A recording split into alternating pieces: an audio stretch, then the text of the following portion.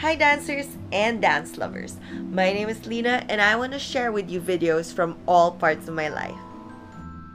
I love to dance a lot and I love dance so much. I want to share one thing I love about it every week on this YouTube channel.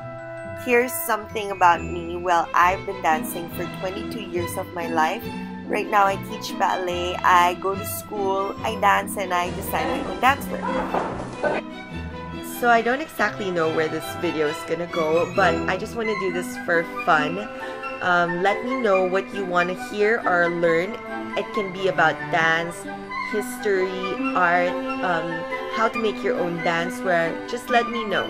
And in the meantime, I'd love it if you could follow our new YouTube channel, our Instagram, our blog, my shop page, and probably my uh, Dance by Lina Dancewear Instagram page. And we'd love to hear from you guys.